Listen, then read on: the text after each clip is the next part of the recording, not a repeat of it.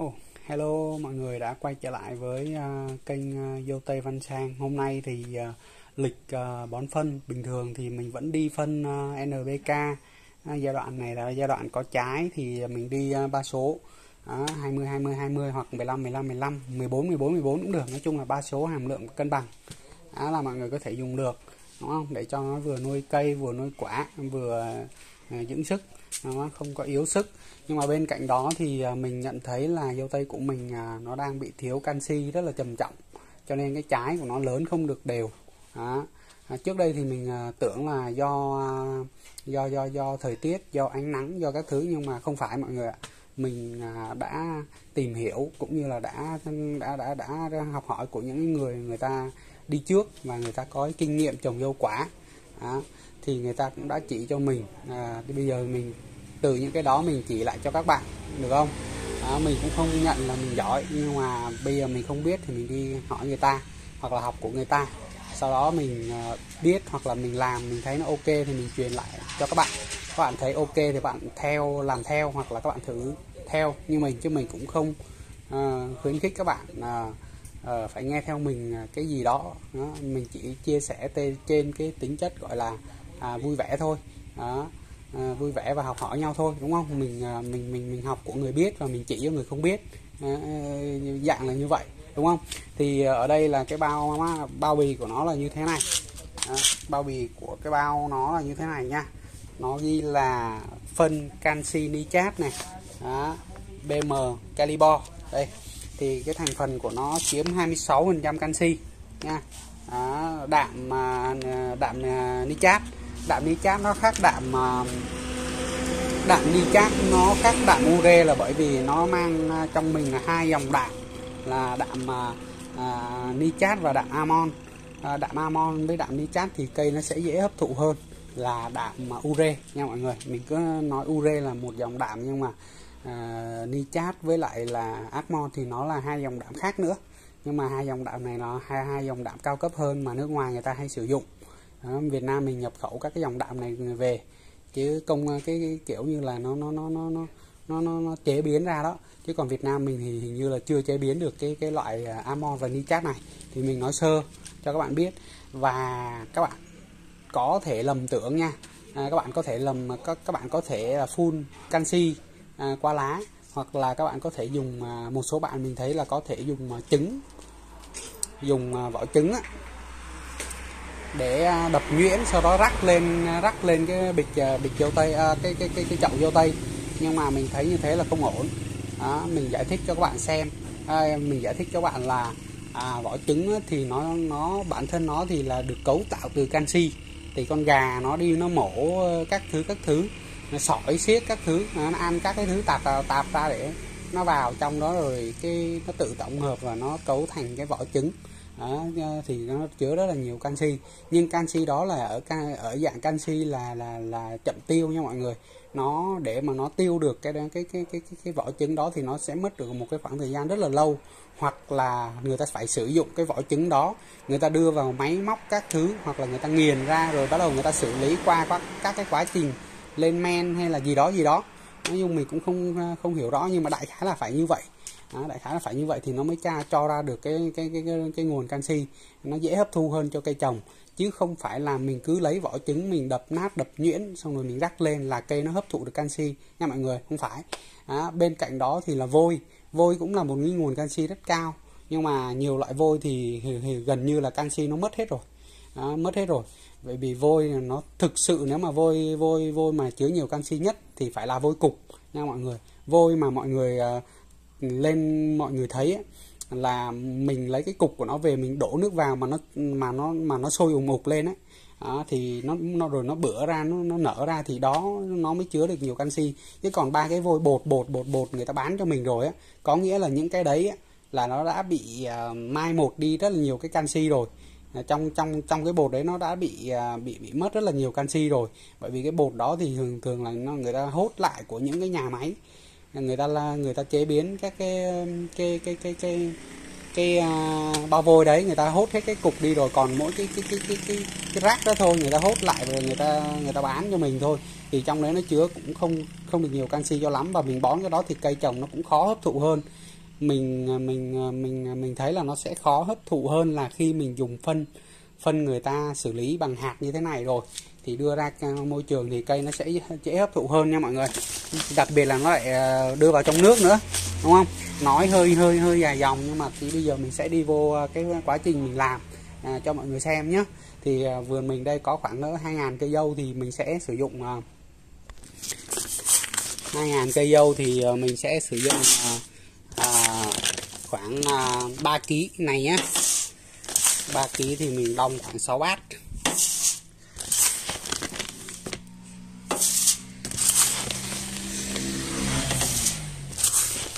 6 bát này các bạn thấy nó cũng có vẻ nhiều nhưng thực sự thực sự nó cũng không nhiều đâu. 6 bát này tính ra 3 kg chia cho 3.000 cây thì, thì thì các bạn cũng có thể hình dung được là cái số lượng phân mình nhận được nó cũng không nhiều.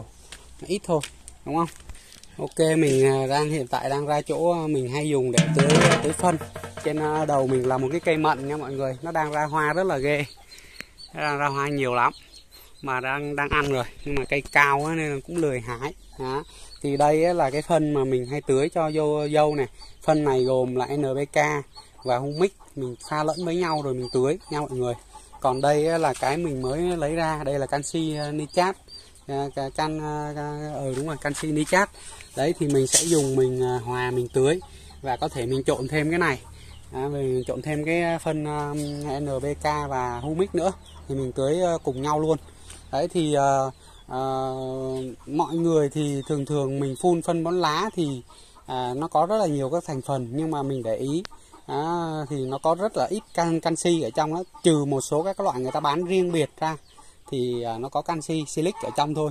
Chứ còn nếu mà bình thường ra những cái loại thuốc kích thích hoặc là thuốc kích ra hoa đậu quả hoặc thuốc uh, to trái lớn trái thì hầu như là không có thành phần canxi ở trong.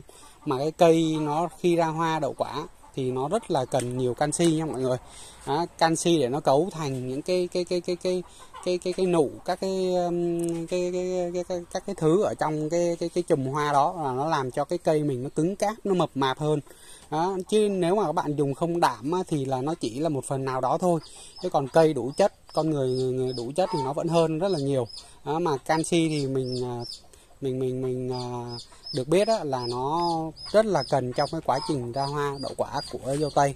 Đó, và phát triển của cái trái nữa vì cái trái nếu thiếu canxi á, nó sẽ rất là móp méo mà nó không nó không được uh, tròn trịa nó không được mà uh, đầy đặn. Đó, tí nữa mình sẽ quay một số các cái góc uh, nó có quả như vậy cho mọi người xem. Và chúng ta sẽ sử dụng uh, uh, và chúng ta sẽ sử dụng uh, cái phân ờ, canxi nitrat này uh, cho dâu tây và xem ờ, thành quả sau này nó sẽ ra như thế nào nha mọi người. Ok.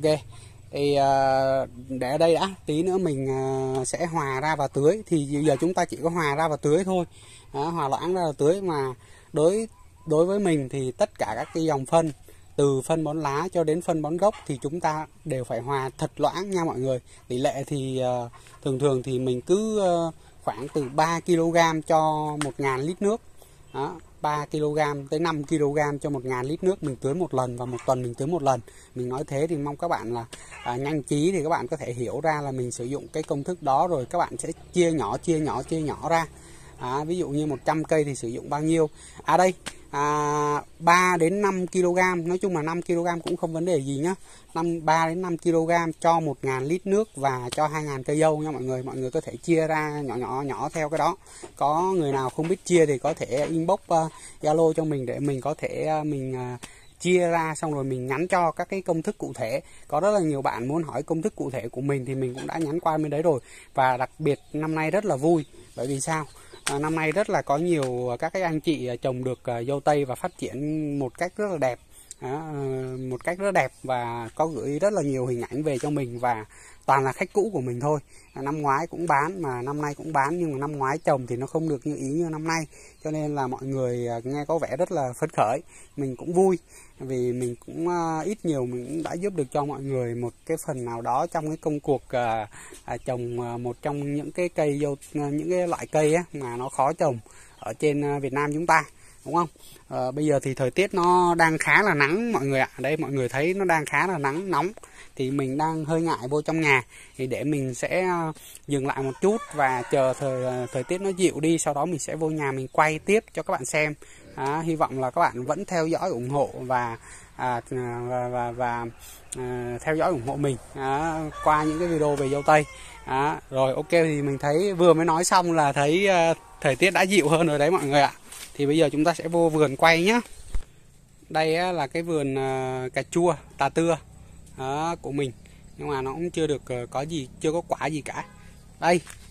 À, mình cũng đang ở cái này là ừ, ừ đúng rồi mình đang tính phun cho nó nhưng mà à, vứt đây thì chưa kịp phun. À, tiện đây à, máy giới thiệu luôn cho mọi người coi. Đây là canxi bo kẽm thì mình sử dụng dạng này là qua lá nha mọi người. Còn dạng kia là mình sử dụng qua gốc mình sử dụng kết hợp hai loại từ trên và dưới luôn thì nó mới mang lại cái hiệu quả cao đúng không? Đây là gói uh, rong biển. À, còn đây á là cái thành à, là thằng đẹp phin 32 VWG và thành phần là Bacillus à, cái này nó là một cái loại à, nấm đối kháng của sâu. Thì cái loại này nó là thuốc trừ sâu sinh học nha mọi người. Đây là nó in là thuốc trừ sâu sinh học này. Nó nhìn không rõ đây. Thuốc trừ sâu sinh học này. Nó là cái loại à, gần như là được đăng ký uh, an toàn nhất đối với các cái dòng cây ăn trái ăn quả và cây ngắn ngày. À, đây này mọi người nó có cái dòng thời gian cách ly ngừng phun thuốc trước khi thu hoạch một ngày đó, chỉ là một ngày thôi. Cái ờ, dòng này y như là cái lợi khuẩn bacillus hoặc là một số các cái dòng men vi sinh mà mọi người hay uống ở cái chai probi á. Đó, cái chai đó thì nó là cái dòng lợi khuẩn và cái ờ, cái con này thì nó được làm ra như vậy để nó tiêu diệt những cái con thiên địch nha mọi người. Thì nó rất là an toàn à, trong cái thời kỳ dâu tây mang trái à, mình phải nói thêm là cái trong cái ờ, quan trọng hơn là cái thời kỳ dâu dâu tây mang trái thì nó mới sử dụng cái dòng này thôi. Chứ còn mà mà mà mà đang mang trái mà mình phun thuốc hóa học thì thực sự thì làm như thế thì nó cũng ờ, không tốt. À, thực sự là không tốt. À, bán thì thì thì thì cái lương tâm nó không có. À, những người làm như thế bán lương tâm không có nhưng mình phải đi theo cái hướng này thì mình mới phát triển lâu dài được. Chứ còn nếu mà mình cứ làm tầm bậy tầm bạ rồi đến hồi mình mình bán quả người ta không không không không ờ, không ăn nữa đâu. Đấy, cho nên là mình cố gắng bây giờ đầu tiên mình làm mình chưa có cái gì cả nhưng chưa được ai biết đến cả đi chẳng hạn. Nhưng mà người mình cứ phải làm như thế trước để khi nào mà nó vô khuôn khổ rồi á thì chúng ta có thể đi đi tiếp đi sâu đi xa hơn được đối với cái cây dâu tây này. Quan trời nó lại nắng rồi. Đây mọi người có thể thấy là mình cũng không sướng gì đâu cũng à, cuốc đất ờ, BCB ra đấy mọi người ạ. À, cũng cuốc BCB ra đấy.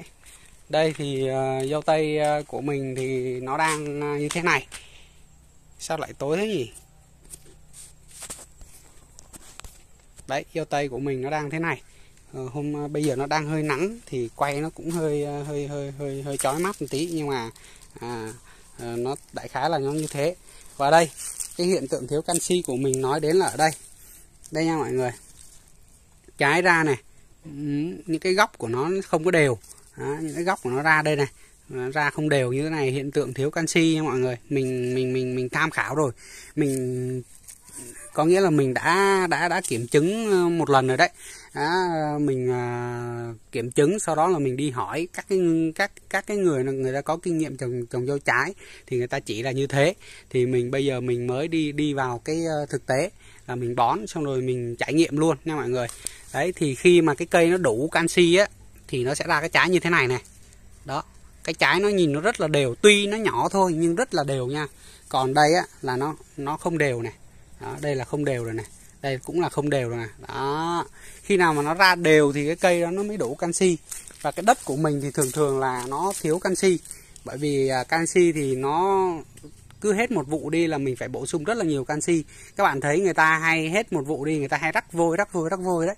Đấy nhưng mà rắc vôi thì nó chỉ là một phần thôi. Còn à, như mình thì mình phải chơi trực tiếp thôi. Chứ bây giờ chờ rắc vôi rồi để à, nó nó cây hấp thụ được thì lâu lắm. Đó. Đây nữa này mọi người. Dâu tây thì đang à, thời kỳ ra hoa ra quả. Đó, như cái quả này thì nó nó nó vẫn bị này. Đó thấy không? Đó quả này nó vẫn bị và một số quả non thì nó vẫn bị. Đó nha mọi người đây là cái vấn đề đi sâu hơn thôi chứ thực ra thì các bạn trồng các bạn chỉ mong là à, ra cây uh, sống được phát triển được à, ra hoa ra quả uh, cho, cho con trẻ nhỏ nó chơi nó ngắm thế là được rồi. Đó. chứ cũng chưa quan trọng đến cái mức như mình đúng không? Nhưng mà mình cũng xin giới thiệu để các bạn biết để nhiều khi các bạn có các bạn làm thì kêu tây của mình nó cũng đẹp hơn nó cũng ờ, ok hơn đúng không? Đây mình qua đây mình quay một số chùm dâu to hơn cho mọi người coi là nó đang bị hiện tượng đấy. Đây cái quả này nó chín rồi nè. Đây quả này nó chín nhưng mà đây mọi người thấy không? Nó nó vẫn bị cái cái phần bên này nó phát triển không đều. Đó mặc dù cây thì nó cũng không phải là yếu đâu. Đó, cây thì nó vẫn khỏe.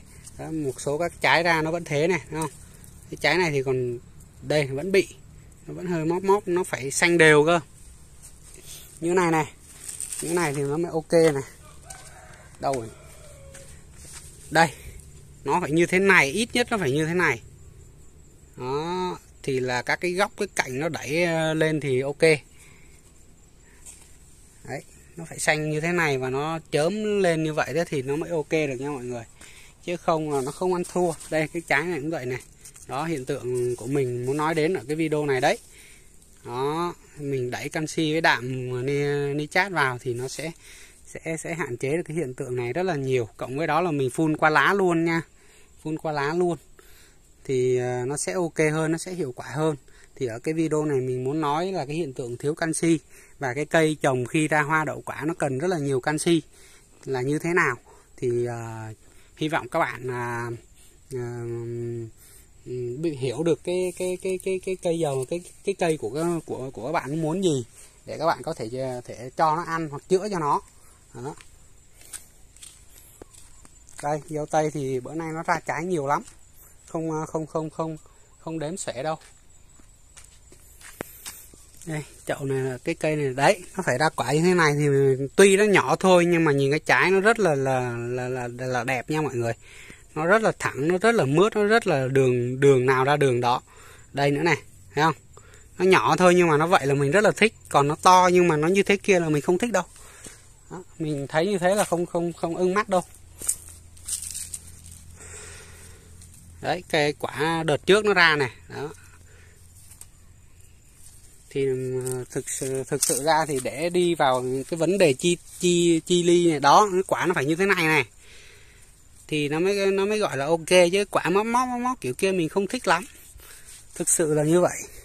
Đấy nó phải như thế này cái góc cái cạnh nó nhìn như thế này thì còn đỡ này. Đó, nhưng mà đây là của mình nó đang chỉ thiếu ờ, phần nào đó thôi nhưng mà mình đi ờ, một phát cho nó xem thế nào. Đúng không? Mình cứ làm thử xem nó thế nào. Đó, hồi trước thì mình có có, có có ấy thôi nhưng mà bây giờ mình muốn thử một phát hết luôn xem thế nào. Đây quả đây. Đấy mấy chỗ này nó bị vậy đấy các bạn cứ thắc mắc làm sao dâu của mình ra quả móc méo lung tung. Nó do cũng nhiều nguyên nhân. Nói nói nói thẳng như vậy cũng không đổ thừa hết là canxi được. Nhưng mà canxi ờ, là mình thấy nó là then chốt đó cái vấn đề này nó gọi là then chốt đó mọi người. Thành công hay thất bại nó cũng ở chỗ này này. Nhiều khi người, nhiều khi mình làm ờ, mãi mà chả thấy cái gì, nhưng mà chỉ cần người khác, người ta nói một câu một thôi chỉ một câu một thôi. Nhưng mà từ cái câu đó mình có thể ngộ ra rất nhiều thứ. Và mình có thể thay đổi toàn bộ được cái cái cái cái cái lối à, cái lối à, trồng chăm sóc của mình. Và mình thay đổi được, nói chung là à, toàn bộ cái đó cũng như là thay đổi được rất là nhiều thứ mà mà nó theo cái hướng tích cực. Đây này cái quả này nó bị như vậy này, thấy không? Mọi người thấy hay mấy cái quả đầu nó ra nó bị vậy không? Nó đợt trước nó bị thiếu canxi đó mọi người. Mình bổ sung nó không kịp. Vì chúng ta cứ nghĩ là cho phân ăn phân NPK NPK suốt ngày NPK thì ờ, thì thì thì cái cây dâu của mình nó sẽ sẽ sẽ bị như thế. À, chứ các bạn quên đi vi lượng quên đi trung lượng. Canxi thì nó là một thành phần trung lượng nha mọi người. Nó không phải là vi lượng đâu. Mình xin nhắc lại nhé nó không phải là vi lượng. Vi lượng là đồng là magie là kẽm là bo. Đó. Chấm chấm chấm chấm chấm chấm còn trung lượng á, thì nó là à, canxi silic rồi lưu huỳnh. Đó đó mình nhớ được những cái đó ngay bây giờ thì mình nói cho các bạn biết. À, và các bạn hãy tin những điều mình nói là đúng. Bởi vì à, ít nhiều mình cũng có học qua những cái trường lớp và mình cũng đã có 7 năm kinh nghiệm trong nghề. Thì mình nói à, có lẽ là sẽ à, sẽ sẽ đúng hơn đối với nhiều bạn. À, hy vọng là các bạn à, à, xem các bạn à, tự cho ra đánh giá cũng như là tự tìm tòi học hỏi thêm và chọn lọc những cái nào hay những cái nào hữu, hữu ích thì các bạn đưa vô cây trồng của các bạn. À, xin à, à, mình nói nãy giờ thì cũng mệt quá rồi 20 phút rồi trời ơi. À, tự kể 20 phút thế là quá đủ rồi. À, bữa nay trời nắng và sức khỏe của mình cũng ok cho nên mình nói nhiều. Nhưng mà sợ nói nhiều quá thì mai lại đau họng mọi người mình có cái bệnh đau họng suốt thôi nhưng mà thôi vì à, vì vì vì anh em vì à, cô chú vì anh chị vì các cháu nhỏ à, mình sẽ cố gắng ra clip thường xuyên hơn. Dâu thì nó sắp chín rồi hôm nọ nó mới chín được ít nhưng mà quay à, chẳng được ờ, bao nhiêu cả nên cũng lười. Để hôm nào nó chín nhiều nhiều quay cho mọi người xem cho đã mắt. Nha mọi người bye bye mọi người và hẹn mọi người ở các video tiếp theo. Nhớ để lại cho mình một like và một đăng ký kênh đó, nha mọi người. Thì à, mình sẽ có rất là nhiều động lực để làm những cái video tiếp theo.